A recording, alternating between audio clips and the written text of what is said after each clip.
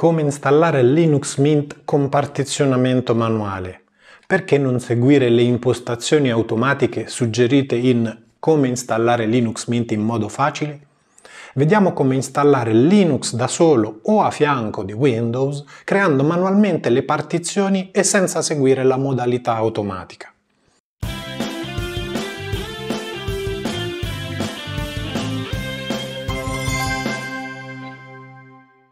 Ciao da Dario di Alternativa Linux.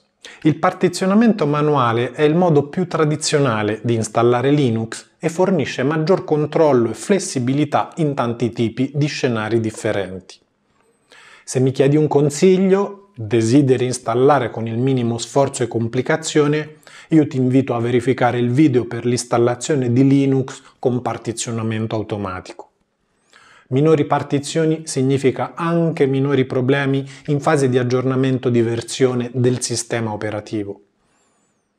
Nel video prima di installare Linux abbiamo visto come preparare il PC all'arrivo di un nuovo sistema operativo, come scaricare, verificare e preparare un supporto USB con Linux e come provare che tutto funzioni. In installare Linux Mint in modo facile come installarlo nel modo più semplice tra quelli previsti. In questo video vediamo come installare Linux Mint da solo o affiancato a Windows non seguendo l'installazione e la preparazione automatica delle partizioni disco necessarie, ma creandole manualmente. Può essere utile per comprendere meglio i meccanismi di funzionamento di Linux e adattarle al meglio in base alle proprie esigenze. È prima indispensabile comprendere quali siano obbligatorie, quali facoltative e perché farne alcune e non altre prima di mettersi all'opera. Le partizioni obbligatorie per installare Linux sono solo due.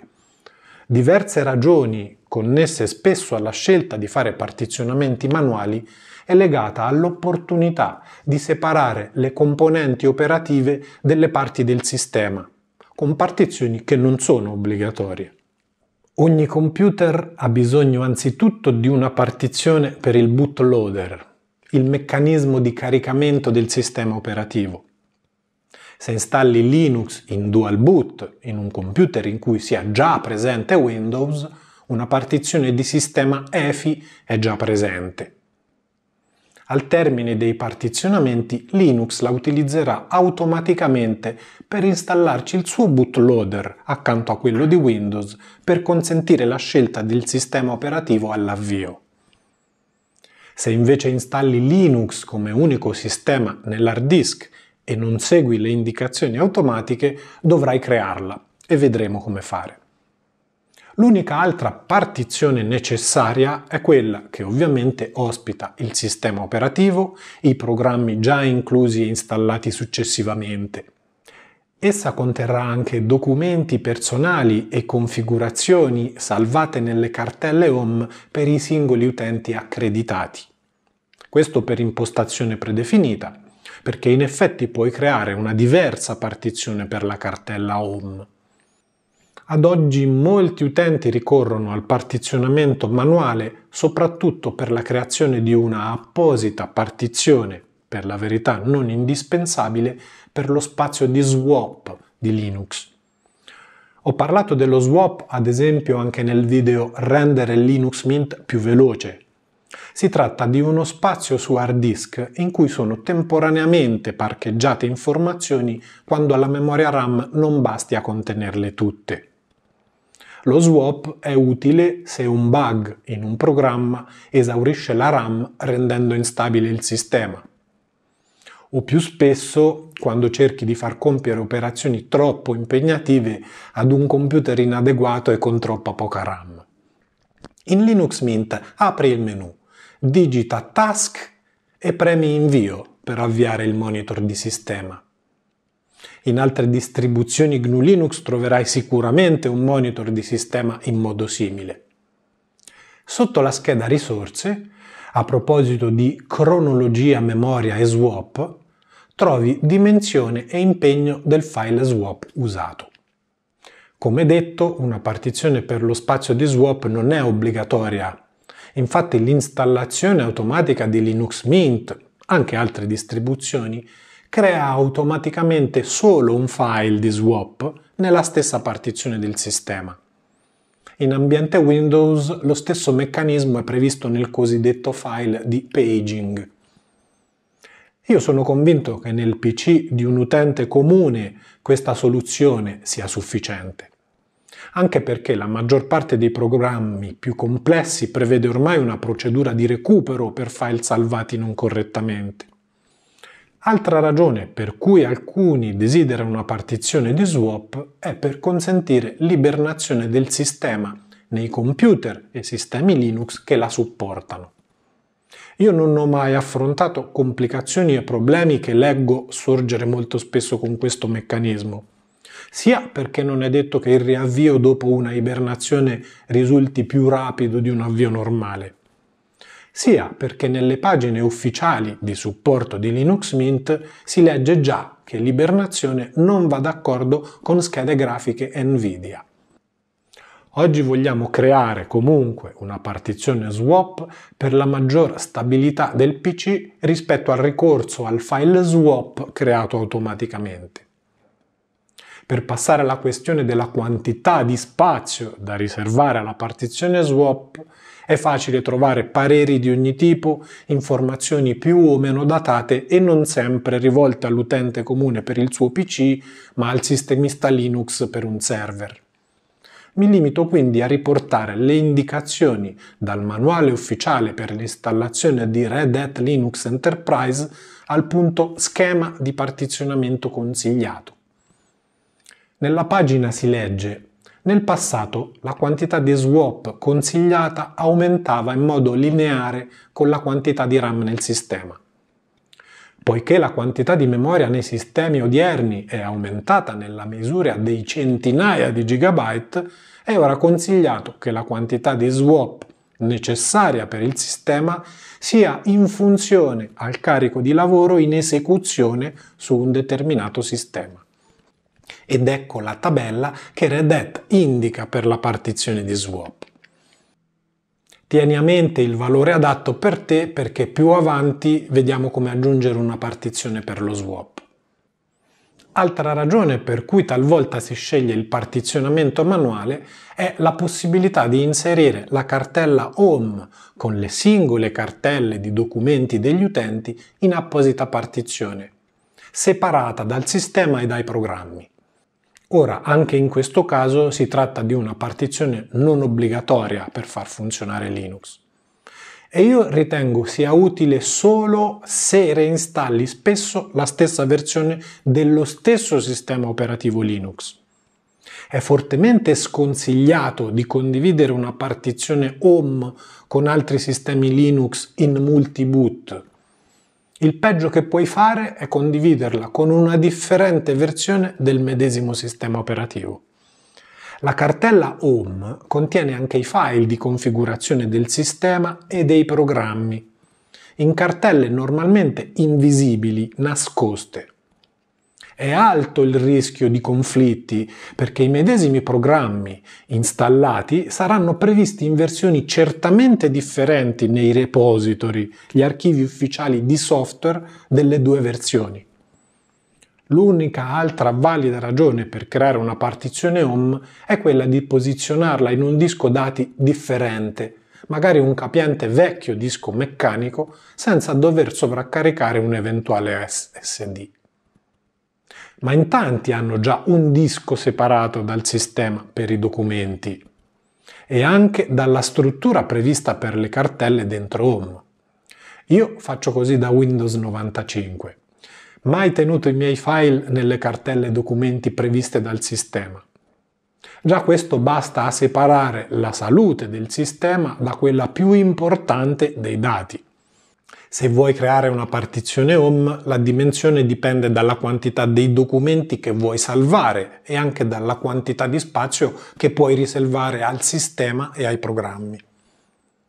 Do per scontato che tu conosca le fasi dell'installazione di Linux Mint fino alla scelta dei codec multimediali. È da questo punto che proseguiamo, dalla scelta del tipo di installazione. Oggi vogliamo installare Linux creando manualmente le partizioni necessarie e quelle opzionali. Procediamo con altro sia per installare solo Linux sia per affiancarlo a Windows o macOS nella modalità chiamata Dual Boot. Si apre una finestra di Gparted, apprezzato strumento di gestione delle partizioni che è bello avere sempre nella chiavetta di installazione di Linux Mint. Lo ribadisco, se intendi affiancare Linux a Windows già installato nel PC, una partizione EFI deve essere già presente. Se Windows è presente ma non trovi una partizione EFI, allora il tuo PC è configurato per un sistema basato su Legacy BIOS e MBR. Ho chiarito questi aspetti in preinstallazione di Linux. Se invece il disco è vuoto o se intendi cancellare tutto ciò che contiene, compreso Windows, lo avrai già formattato o lasciato libero e non allocato da Windows. Nel video citato trovi informazioni a riguardo. Identifica nella finestra di Gparted lo spazio libero del disco. Aggiungi una partizione con il più sotto l'elenco delle partizioni Possono bastare 300 MB anche se intendi installare molteplici distribuzioni Linux in multi-boot. Nel menu Usare come seleziona Partizione di sistema EFI e conferma. A questo punto sai già se intendi creare partizioni opzionali. Per creare una partizione per lo swap seleziona ancora lo spazio libero. Con il più aggiungi una partizione. Io userò 4096 MB, cioè 4 GB per la mia. Verifica le indicazioni raccomandate prima se le hai saltate. Nel menu Usare come seleziona Area di swap. Con i moderni SSD non ha molto più senso la sequenza e posizione delle partizioni come invece influiva con i dischi meccanici ma è il momento di creare la seconda partizione obbligatoria per il funzionamento del sistema, quella che conterrà la radice di tutto quanto il sistema operativo e dell'hardware installato in un unico percorso. Non C due punti, D due punti, eccetera, ma un'unica entità che le contiene tutte. La radice di tutto. La partizione per la cartella root, appunto, indicata con il semplice slash per non dover intervenire successivamente dall'esterno del sistema con delicate redistribuzioni di dati, non dovrebbero essere meno di 100 o 120 GB, ma anche di più se vuoi installare programmi e salvare tanti file senza creare una partizione home. Se crei un'apposita partizione per la cartella home, ti direi di riservare alla partizione root almeno 60 GB per far stare comodo il sistema e diversi programmi. Per creare la partizione root, seleziona lo spazio libero e con il più crea una partizione primaria all'inizio di questo spazio nel formato file system ext4 con journaling, come suggerito il punto di mount sarà il primo dell'elenco, quello radice indicato con il percorso base slash. Se ti resta troppo poco o non hai spazio a sufficienza, starai sacrificando Linux in uno scenario in cui non potrà fare bella figura. In assenza di una partizione opzionale per la cartella home, il sistema la posiziona nella medesima partizione in cui risiede il sistema operativo Linux e i programmi. Se hai deciso di crearla, saprai già quanto dello spazio libero hai lasciato per questa partizione. Seleziona ancora lo spazio libero e con il consueto più sotto l'elenco delle partizioni lascialo tutto alla nuova partizione primaria all'inizio dello spazio disponibile e imposta come punto di mount Home. Il sistema di installazione ha ricevuto tutte le informazioni su come gestire l'hard disk ed è pronto a creare le partizioni. La partizione EFI di Windows sarà usata automaticamente per l'eventuale affiancamento, oppure sarà usata quella creata appositamente. Per migliore comprensione del meccanismo e per maggiore sicurezza, selezioniamo la partizione EFI nel disco in cui intende installare anche il sistema e conferma che il bootloader, il meccanismo di avvio di Linux, dovrà venire posizionato lì, nella partizione di avvio boot. Clicca su Installa e saranno riepilogate le operazioni che vengono compiute per il partizionamento. Confermando con Avanti, l'installazione prosegue come nel video Come installare Linux Mint in modo facile. Arriva la richiesta di indicazione del fuso orario, dei dati utente, poi la copia dei file e l'installazione si avviano assieme alla presentazione di Linux Mint. Puoi sfogliarla mentre attendi 5-10 minuti richiesti di solito per completare le operazioni e riavviare Linux installato dal disco e non più dalla chiavetta. Al riavvio la schermata del programma Grab potrà presentarsi in una forma simile a questa. In ogni caso avrai un menu di avvio che prevede l'avvio normale di Linux, una modalità di opzioni avanzate che può tornare utile in caso di problemi, una riga per avviare Windows se mantenuto, l'accesso al firmware del computer o della scheda madre. Selezioni con le frecce direzionali sulla tastiera e confermi con invio. La prima opzione, evidenziata automaticamente, si seleziona da sola entro 10 secondi. Premi subito invio per non attendere.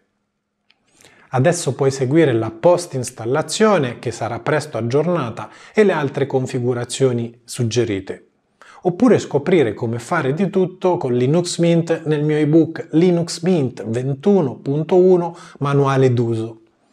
Sono felice per la tua superiore nuova conquista. Ti ringrazio per aver visto il video e ti auguro una buona scoperta di Linux.